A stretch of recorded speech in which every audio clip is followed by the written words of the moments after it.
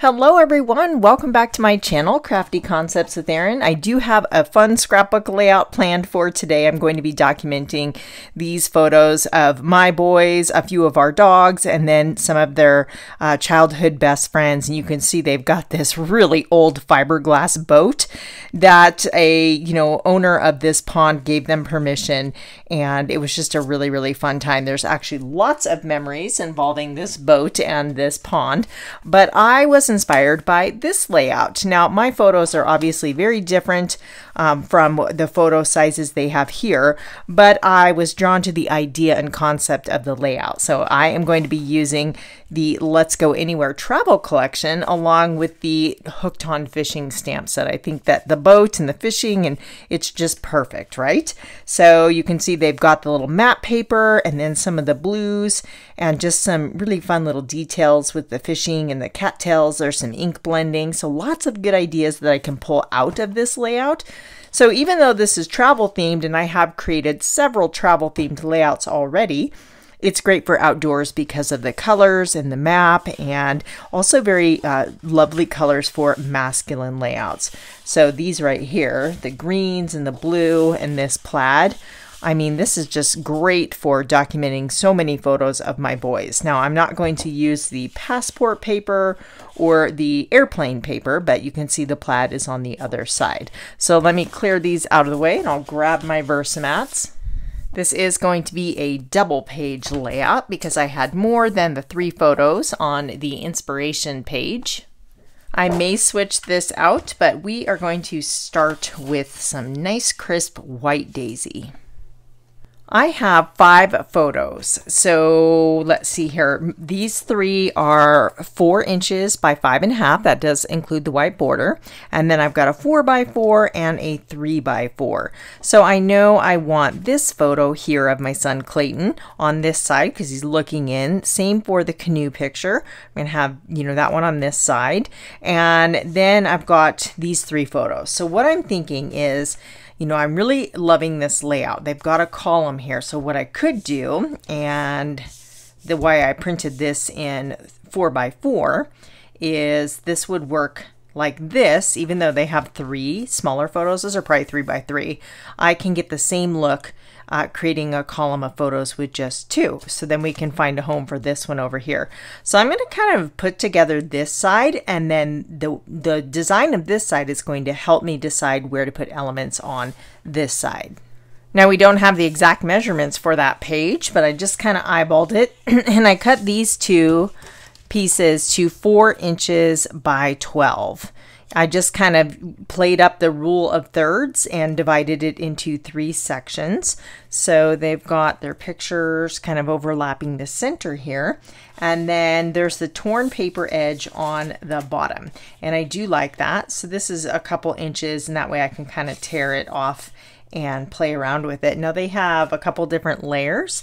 I'm going to start with just the sapphire blue first and I can always go back and add that pattern paper um, after the fact. So there's also this zip strip here, which they have on the side of the photos, but we're going to need to mat those on something. It looks like they have the, maybe the limeade. They tell you the colors of the projects on the bottom here. So you know what colors were used to create all of these. So I'm going to guess that is limeade.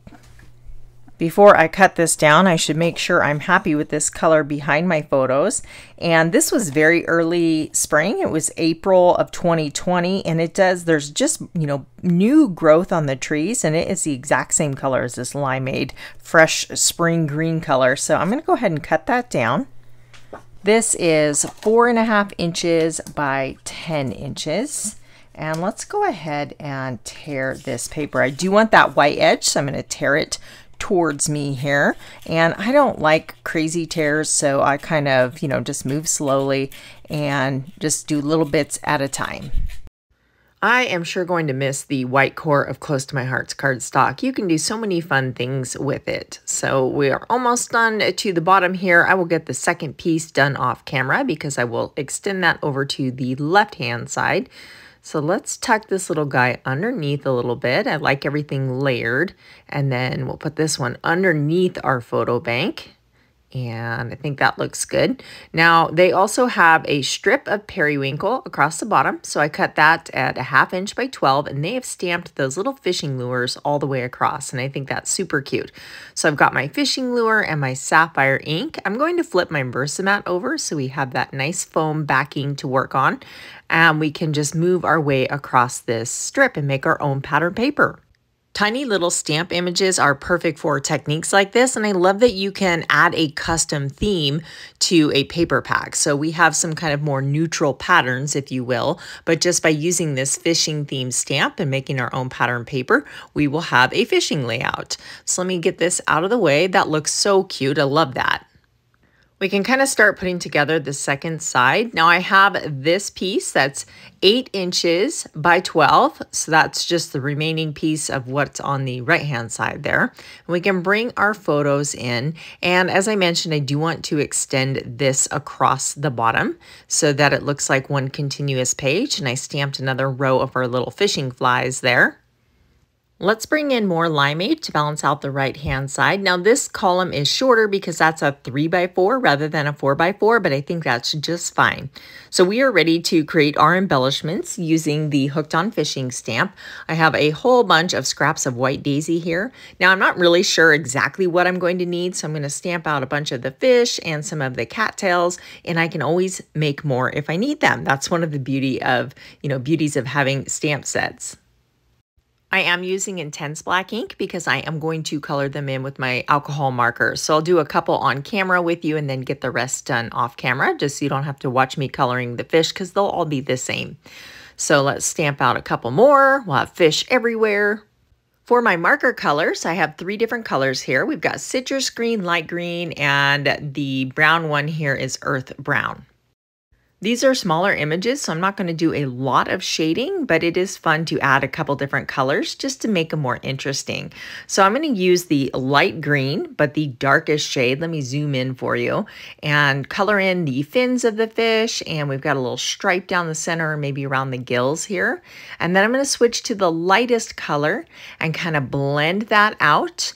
And then I pulled the citrus green blend because it's very similar to the limeade. So I thought it'd be fun to add a little bit of brightness to the fish's little belly here.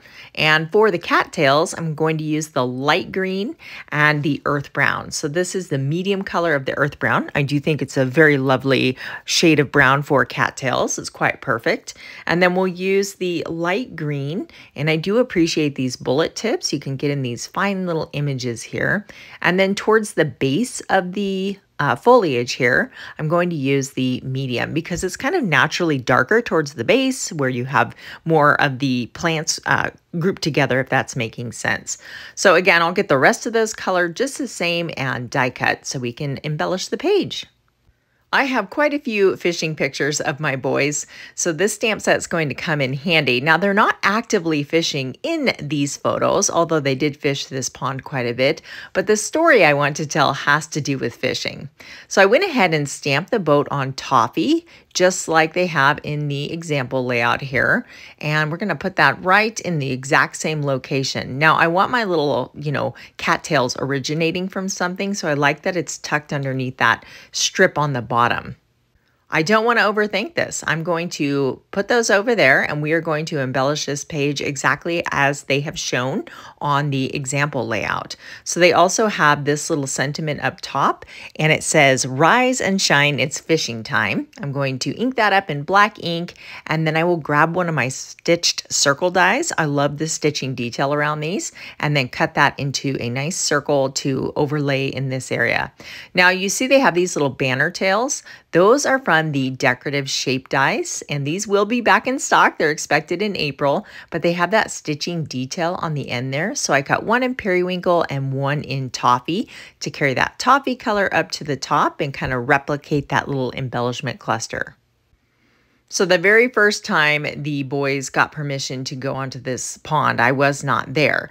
And they came home with this story about this huge, mysterious white fish in the water. You know, it's very murky water, so they couldn't really see, but they said it would kind of surface and it had whiskers. So we're all thinking it's got to be a catfish, right? More on that in a moment. We are going to add some ink blending. So they have little soft ink blending on the uh, inspiration layout, and I really like that. So I'm going to use my blending brush and blot that off first and scoot these items out of the way so I can have that ink blending coming out from underneath behind my photos here. I like to bring that back in and just make sure that the color is visible. Sometimes you end up covering it, so we do need to extend that out just a little bit further. Now, just to save a little bit of time, I did stamp the little boy that's fishing off camera and get him colored in, but I'll share the colors. For his overalls, I've used true blue shades. His hat is muted brown, and then his shirt is brown gray. And I think that he is so adorable. We're gonna sit his little behind right on the boat there. And then in the example layout, they also have the little can of worms sitting behind him, and I do want to replicate that. So we'll put that right there. And then they have the fish kind of jumping about. So the boys tried really hard to catch this mysterious white fish lurking in the pond, right? They never did. But one day they finally did get a really good look at it and they came home, Mom, it's a koi. And they were all excited because I have a koi pond and I am very fond of koi. So once they discovered it was not a catfish and it was just a very large, old, probably very old white koi swimming in this pond, they no longer wanted to catch it because, you know, we don't catch mom's fish, so we must not catch any koi. I'm sure that's what was going on in their mind. But yeah, it was just really cool. So they kind of made up stories about this wise old fish living in this pond and they just had a really good time. I want to bring some of that toffee over from the boat on the right hand side. So I matted that photo. And then we have another one of the zip strips that is on the right hand page. So I always recommend bringing over elements, patterns, and colors, little design elements when you're creating a second page, and it gives them a cohesive feel. I'm thinking about having that stop short like the other side, but you know, I don't think I like it. It looks a little awkward. Let's slide that up. And we do have some more cattails. So I'm thinking about adding the title down in this area here. I dug through my fishing stamp collection and came across this one here. It says hook, line, and sinker. It's from the Let's Go Fishing stamp. I've had this one quite some time. So I've stamped that in sapphire ink and dovetailed the end. And I thought, well, let's try this one under the photo here. Mm, I don't know. It's kind of boring. What if we add some ink blending behind it to maybe make it pop a little bit? Yeah, let's try that. Since we have that on the other side, we should probably repeat that over here anyway. So again, same thing. I'm going to blot this off a little bit so I get a nice soft color. And then let me scoot these items out of the way. I'm telling you, this is why I dry fit everything. It just makes life so much easier. So I'll just put a nice little soft halo of color. And maybe this will help that title to kind of stand out a little bit. I have used this hook, line, and sinker element on pages before for a title, and I do like it. But let's see here. Let me tuck that back underneath there and get it situated. You know what? I mean, it's okay. It's not bad, but I think we can do better. I turned to my Cricut and created this. Now the Everyday Adventure, and then we have the Bobber. Those are all cut out from cardstock and I adhered the letters. So Everyday is in Sapphire and Adventure is in Pine. And then the little fishing bobber is from the Periwinkle cardstock.